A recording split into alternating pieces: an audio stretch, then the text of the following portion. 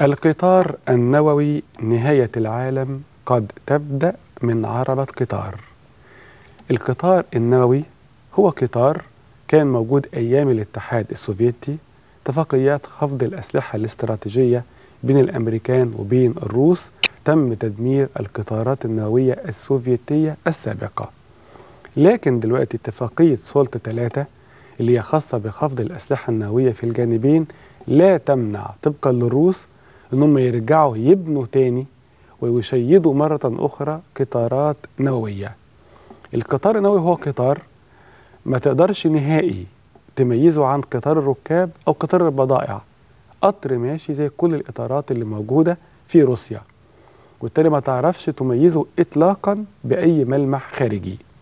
إنما في لحظة يقدر بقى القطر وهو ماشي أو هو متوقف في أي محطة.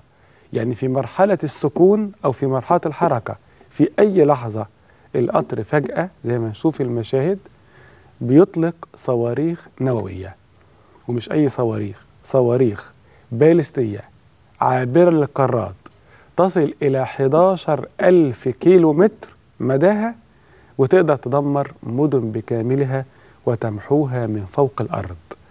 إذا القطار النووي الروسي اللي هو تجديد وتطوير للقطار النووي السوفيتي ده بيخلي في سباق تسلح في العالم بيوصلنا إلى حافة الخطر. الصحف الأمريكية بتقول إنه على سنة 2040 هيكون القطارات دي موجودة عدة رؤوس نووية خمس قطارات في ست رؤوس نووية حوالي 30 رأس نووي في القطارات النووية الروسية. والسنة اللي جاية على طول 2017 هيبدأ دخول أول قطار نووي في الخدمة مباشرة. ده معناه أولا تقدم علمي مذهل يعني بنرجع تاني نشوف قطارات نووية أكثر تقدما إن القطار في حالة الحركة أو في حالة السكون يقدر يطلق صواريخ إن الصواريخ دي مداها 11 ألف كيلو تضرب معظم أماكن في كوكب الأرض إنه ده هيكون بطريقة غامضة تماما ويستحيل تتبعه نتيجة إن القطر ده زيه زي أي قطر عادي ماشي قطر ركاب أو قطر بضائع.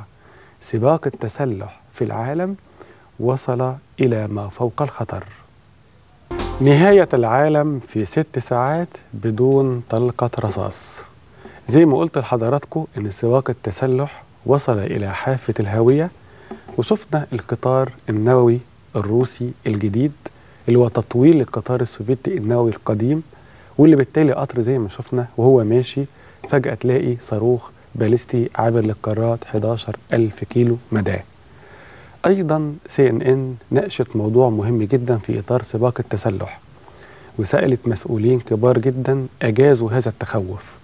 دلوقتي في ما يسمى حرب فضاء حرب خارج الغلاف الجوي. لأن كتير جدا من نمط الحياة لا سيما في أمريكا قايم على الاتصالات عبر الفضاء. بمعنى كل السفن الحربية اللي ماشية دي بتوجيهات عبر آلية اتصالات فضائية. كل الطيارات اللي ماشية منظومة اتصالات أيضا. كل الشوارع الإشارات اللي فيها منظومة اتصالات أيضا عبر الأقمار الصناعية. كل الحياة العسكرية والحياة المدنية والاقتصادية والمالية المعاصرة كلها أسيرة الاتصالات. يبقى لو حرب فضاء هدفها الاتصالات وتدمير الاتصالات وشل الدولة تنتهي الدولة تماما. يبقى أمريكا أو أي قوة بكل قوتها كأنك بالظبط شلت الفيشة والبطارية انتهت تماما. لأن كل هذا المجهود وكل هذه الحضارة قايمة على ثورة الاتصالات. عبر الفضاء. لو الحرب في الفضاء دمرت الاتصالات الحرب خارج الغلاف الجوي نجحت في تدمير الاتصالات ده معناه شلل تام على كوكب الأرض للقوى الكبرى.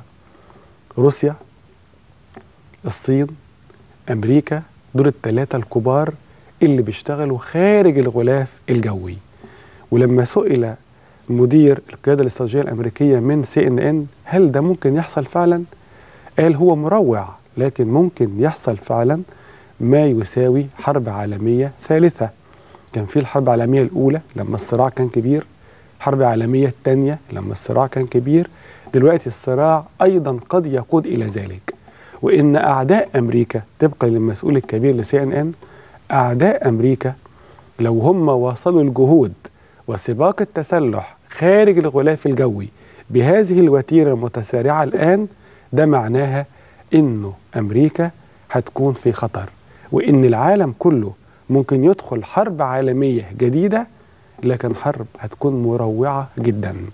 سي إن إن عملوا تصور تقرير مروع. إيه اللي يحصل؟ لو حرب الفضاء حصلت إيه اللي يحصل؟